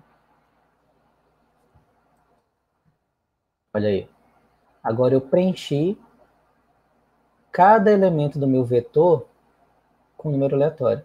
Então, na verdade, a gente usa os zeros muitas vezes assim, para criar um vetor dummy, né? Onde eu vou mudando o valor dele. Podia ser qualquer valor, podia ser um também. O que, é que a gente vai fazer agora aqui? Agora a gente vai plotar esse vetor. E aí eu vou plotar um ruído branco, basicamente, né? Então vamos lá, PLT ponto figure fig size igual a 16 por 9. Eu gosto desse formato 16 por 9 porque ele, se eu estou fazendo, por exemplo, com slide, ele encaixa certinho no slide. É, é um formato muito bom. Eu vou plotar, vou dizer aqui, PLT, plot, PNT. Sem label, sem rótulo, só simples aqui. E aí eu vou salvar essa figura. Eu poderia salvar, né? Mas não vou salvar, não. plt.show. Roda aí. Olha aqui. Está aqui o meu... Isso aqui é um processo estocástico. Um processo estocástico com, onde cada elemento do vetor é uma variável aleatória gaussiana. Será que é mesmo? Bora pegar o meu t aqui, ó. O meu t está com 100 pontos, né? Bora colocar o meu T com mais pontos aqui, né? Mil pontos, tá bom? Ah, bora colocar 100. Bora ser bem exagero. Mil, 10 mil pontos. Isso, 10 mil pontos. Então vamos aqui definir para 10 mil pontos. Olha aqui, agora sim o negócio está robusto, tá? Mas bora pegar esse fig size aqui, 16 por 9, e bora dividir em dois. Num, nesse primeiro aqui, aqui plt ponto plot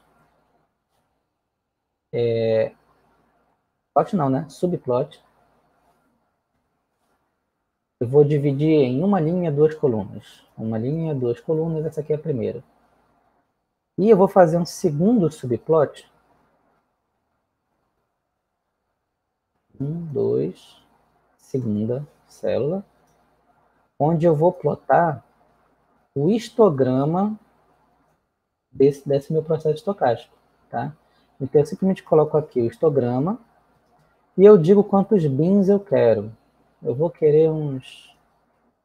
São 10 mil pontos? Vou colocar uns 20 bins aqui. Para ver como acontece. Olha aí. Ficou meio grandão, né? Deixa eu diminuir aqui para vocês enxergarem melhor. Eu vou colocar aqui 9 por 6.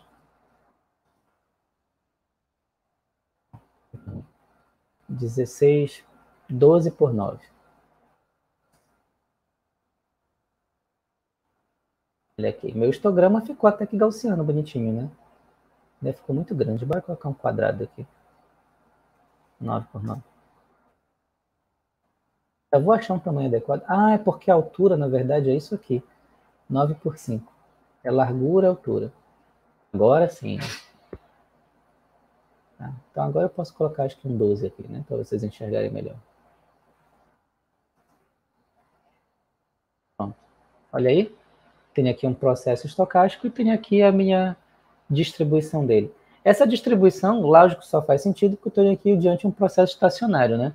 Se não fosse estacionário, não adianta fazer isso aqui. E o que acontece se eu pegar o meu é, ruído branco aqui e somar com alguma coisa. Se eu pegar, por exemplo, e fizer 2 vezes t ao quadrado. 2 não, bora fazer um negócio mais radical, né? Bora colocar um 120 aqui. 120 vezes t ao quadrado mais... Quadrado não, bora só colocar uma reta mesmo. Aí bagunçou, né? Aí ele cresceu muito. Bora colocar 20. Olha aí, eu tenho uma reta meio torta aqui. Uma reta meio... Bora pegar e colocar menos pontos. Gente, vocês têm que brincar com isso. Uma vez que vocês pegam um jeito desse negócio, a gente tem que brincar.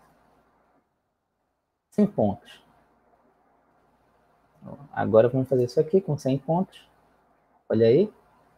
Bora aumentar agora nossa, nosso desvio padrão? Aumentar para 5. Olha aí, temos agora a simulação de uma série com tendência, né? Bacana?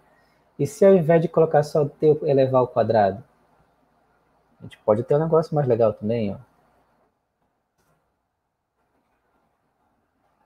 bacana. E eu posso aumentar aqui também. O céu é o limite, gente.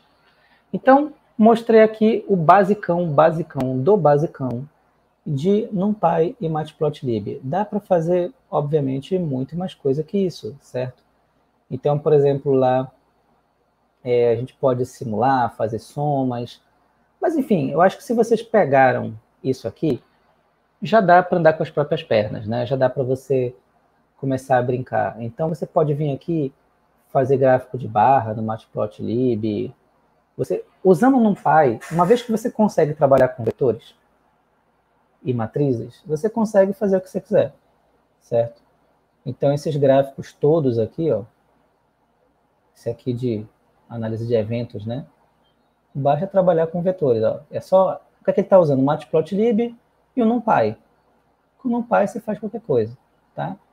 Então, vou dar só uma palhinha para vocês antes de encerrar a aula de hoje.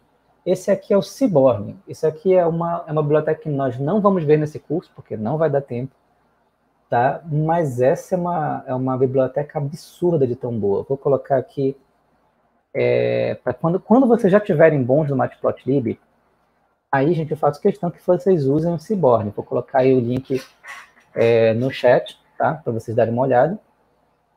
Mas vê aqui, ó, aqui tem o Gallery, que é o exemplo deles, de vários exemplos de coisas que dá para fazer com ele, tá? Então, tem de tudo aqui, né? Eu quero fazer um gráfico, esse gráfico conjunto, né? É um gráfico bonito. Aí tá aqui o, o código, né? Que é o joint plot, já vem prontinho para fazer. É, e a, ele é bonito, as cores, a maneira como ele combina automaticamente as cores, é muito bacana. É muito bacana. Então, esse Seaborn, quando você tiver bom no Matplotlib, aí você pode usar. Repara que para usar o Seaborn, eu preciso também sempre importar o Matplotlib também, tá? Porque é como se ele pegasse o Matplotlib e fizesse coisa melhor com ele. Então, ele permite fazer gráficos desse tipo aqui, ó. Gráfico bonito, né? Então, Seaborn está como minha recomendação de avanço. Quando você tiver já muito seguro no Matplotlib, vale a pena dar uma olhada aí no, no Seaborn e ver como é que ele funciona, porque ele funciona muito bem, tá? Então, gente, por hoje eu vou parar por aqui. Isso foi o básico do básico do NumPy e o básico do básico do Matplotlib. Com isso aqui você já pode ir brincando e fazendo outras coisas. Eu mostrei um histograma, daria para fazer boxplot aqui também, dá para fazer um monte de coisa. Amanhã nós vamos ver o Pandas, Claro que é acumulativo, né? Então vou, a gente já viu o NumPy, já viu uma, o Matplotlib, amanhã vamos ver o Pandas e a gente vai trabalhar o Pandas tanto com séries quanto com tabelas de dados no geral, tá bom? Então, um grande abraço para vocês, nos vemos amanhã. Ou melhor, vocês me veem amanhã, né? Até mais, pessoal. Deixa eu tirar aqui a, a tela. Até mais.